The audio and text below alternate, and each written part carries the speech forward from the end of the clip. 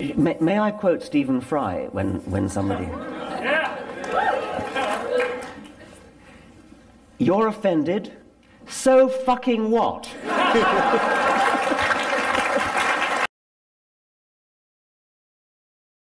the scientific ideal is that fiddling your figures, cheating, is the worst thing you can possibly do. Yeah. I mean, it's, it's true that there are individual bad apples who do it, and as Lawrence says, they're usually found out.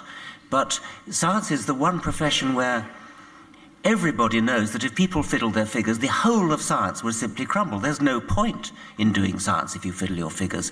Other professions, like being a lawyer, for example, you're paid to you're paid to deceive. You're, you're paid to mislead a, a, a, jury. I mean, even if you believe somebody is actually guilty, you're paid um, to, uh, to argue for their, for their innocence. That's uh, inconceivable to a, to, a, to a scientist. Here I think we come to perhaps the most powerful evidence of all for evolution, looking at the enormous numbers of modern species that there are and comparing them systematically. Darwin was able to do this with anatomy, skeletons, for example. He was able to see that the hand of a man and the wing of a bat are directly homologous. A bat's wing is enormously long, splayed out fingers with webbing stretched between the fingers. A horse's hoof is the same hand where, of the five fingers, only the middle one remains, and the horse walks on the middle finger and the middle toe, and the hoof is the, is the nail. And you can see that, you can see it in the fossil record, how the number of fingers di diminished, and there are occasional freak horses uh, which are born with three toes, showing an intermediate uh, stage. But that was the, the limit of what was possible in, in, in Darwin's time. You could compare anatomy and show very, very convincingly that it fell on a family tree. Nowadays, you can do the same thing with molecules with, with, with genes molecularly analyzed. Because the genetic code is universal, all creatures have the same machine code, the same code whereby triplets of DNA are rendered into amino acids. You can directly compare the same gene in one animal with the same gene in another animal. You know it's the same gene. It's got essentially the same sequence with minor differences. There's a letter different here, a letter different there, a letter different there. And the corresponding differences appear in the amino acids and in the protein chain that they produce. But you can say this is the same gene, it's doing the same job, it's got the same sequence with these minor differences. And then you can literally count the number of differences between these genes. It's not a case of saying, oh, this limb looks a bit like that limb. You are literally comparing alternative texts, just like alternative versions of, of the book of Isaiah or something, where you just look at, count the number of differences that there are between chapters, between letters, between sentences, words. And when you do that, for any one gene you like, you find that the differences fall on a beautiful hierarchical tree. What could that be but a family tree? What could that be but a pedigree? Then you do the same thing for another gene, and you find the same tree. And then you do it for another gene and you find the same tree. Then you do it for a gene which no longer does anything, but you can still sequence it. Nature doesn't read the gene anymore. It's never translated into protein. But molecular geneticists can read it and they can recognize uh, that it is a defunct version of the same gene. And again, when you compare these pseudogenes, you find the same family tree. There are minor exceptions to that. But in general, it's, it's dramatically true that if you look at different genes, you find they fall on the same tree. What could that tree be but a family tree? The only alternative is that the intelligent designer, the, the creator, deliberately set out to, to, to deceive us and make it look as though evolution had happened when it didn't. That's not a resort that I think many theists would wish to cling to. Um, we are incredibly social animals, as I said before. And, and when somebody does you a good turn, it's important to be grateful. You, it's important to pay back the favor and to express your gratitude. And that, I suggest, might generalize the psychological predisposition to feel grateful when something good happens to you. might generalize from feeling grateful when a person does something good for you and when the weather does, say, uh, when, um, a, when, a, when an accident happens, when there's an earthquake and your child doesn't die, you feel grateful. And you feel the need to, to be grateful to something or somebody. And, and you can't feel grateful to other people because they're not responsible for the weather. So you, so you conjure up a fictitious person to feel uh, grateful to. And that's a special case, really, of the idea that it's good survival practice to suspect agents in nature. A lot of what happens in nature doesn't have an agent deliberately causing it. A lot of it is the weather, a lot of it is the wind, um, a lot of it is just plain accidents that, that happen.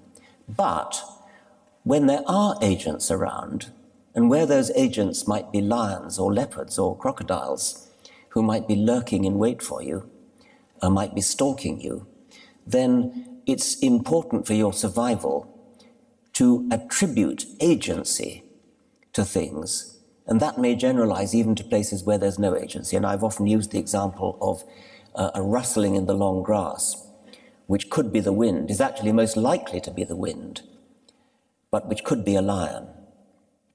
And although the odds are that it's the wind, uh, your best bet is probably to assume that it's a lion, because if you get the bet wrong, um, if, if, you bet on it being the wind and your bet is wrong, that, then that, that's, that's rather tragic. Um, so um, there may be a psychological predisposition to in, invent agencies, invent agents where there aren't any. And this then, this same psychological predisposition generalizes itself to wind gods and thunder gods and, and lightning gods and river gods and, and, and sea gods and things like that, which then become merged later on in cultural evolution into the gods, into the named gods like Thor and Zeus and Apollo and Yahweh.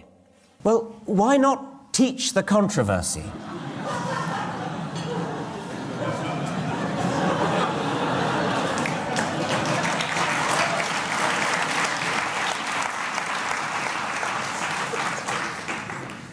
There are real controversies in science. They're interesting, and we should certainly teach them. Uh, it's a, a, very important part of scientific education to understand that science is not a done deal, that scientists are constantly changing their minds as new evidence comes in. That's important. So let's, by all means, teach controversies that really are proper scientific controversies. But the controversy over so called intelligent design versus evolution is just not a real controversy at all. I hope it's not pure wishful thinking to suggest that there is a new wave of reason sweeping across America, Britain, the whole of the Western world. One indication of this, perhaps, is a wave of best selling books, which I'm happy to advertise. And perhaps even more significant is the backlash, and I uh, invite you to count along.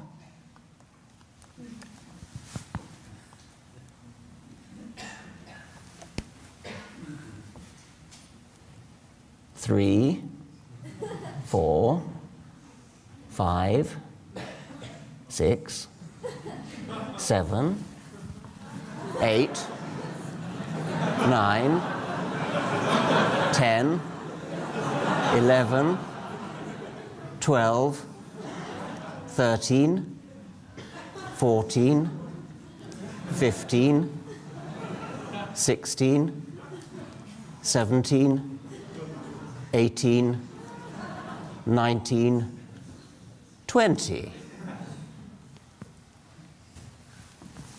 The flea illusion you will, of course, recognize from W.B. Yeats, but was there ever dog that praised his fleas? Hence the flea powder that just got rid of that. and a nice little afterthought. You.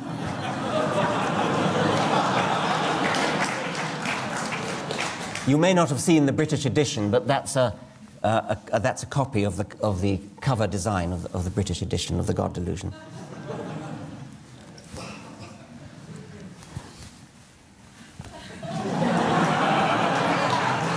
The next chapter, The Ark of the Continents, is about the geographical distribution of animals and plant species in the islands and continents of the world, which, coming back to our detective analogy, are exactly what you would expect them to be if they had evolved, and exactly what you would not expect them to be if they had been created, especially if they had been uh, released from Noah's Ark.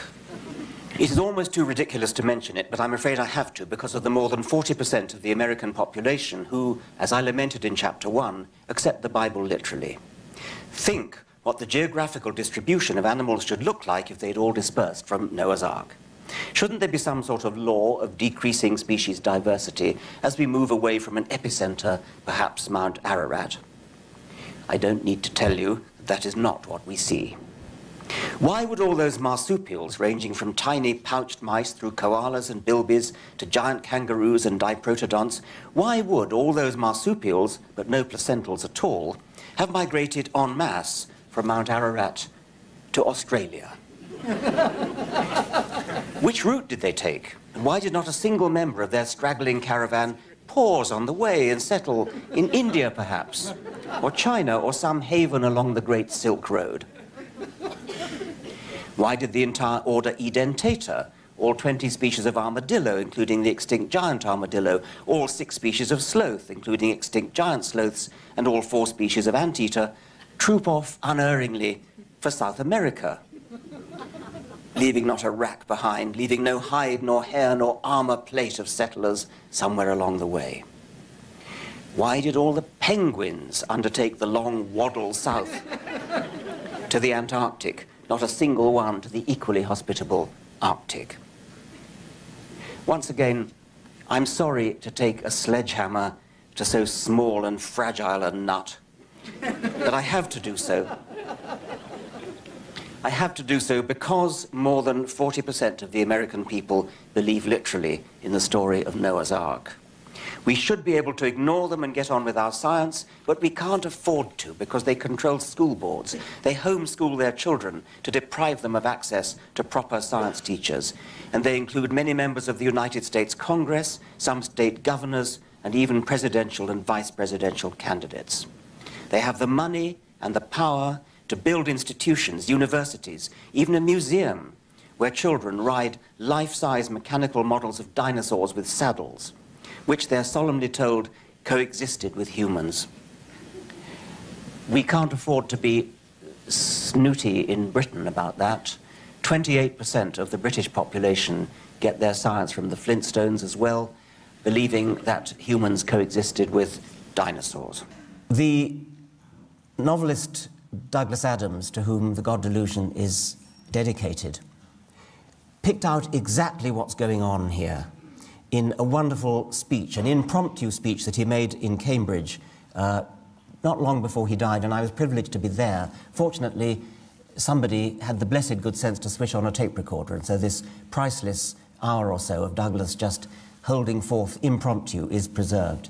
And I'm going to read a, a passage from it because he, he puts his finger exactly on what's going on with all this offence. Religion has certain ideas at the heart of it which we call sacred or holy or whatever.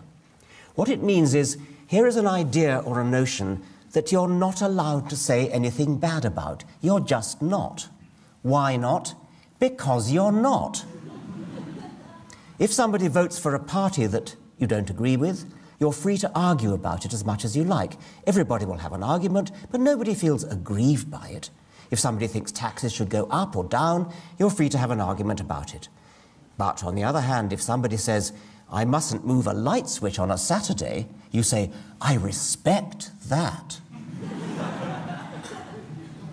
Why should it be that it's perfectly legitimate to support the Labour Party or the Conservative Party, Republicans or Democrats, this model of economics versus that, Macintosh instead of Windows?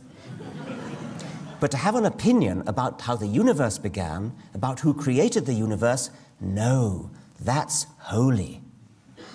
We are used to not challenging religious ideas, but it's very interesting how much of a furore Richard creates when he does it. Everybody gets absolutely frantic about it because you're not allowed to say these things. Yet, when you look at it rationally, there is no reason why those ideas shouldn't be as open to debate as any other, except that we've agreed somehow between us that they shouldn't be. And that agreement seems to extend to the non religious as well as the religious. Let's raise our consciousness. What's so special about religious arguments that they should be immune to exactly the same kind of rational discussion as political or any other kind of arguments?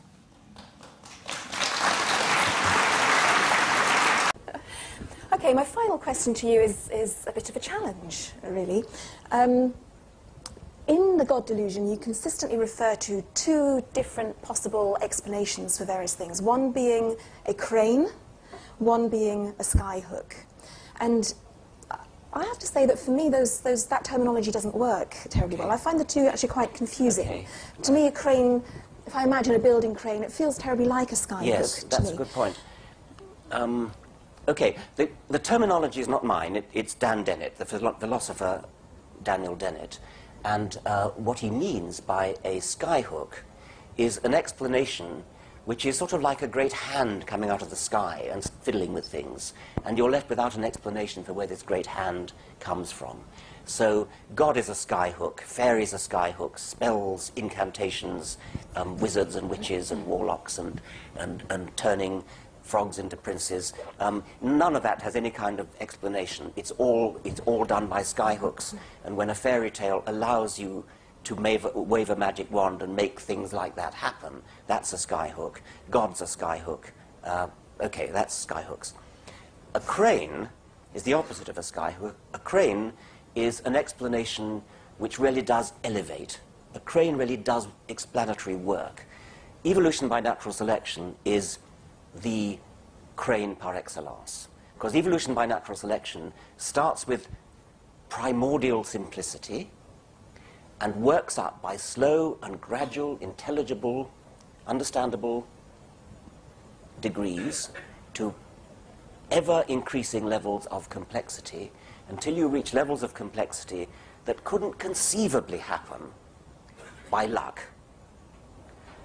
Skyhooks are a kind of um, inadequate rationalization of luck.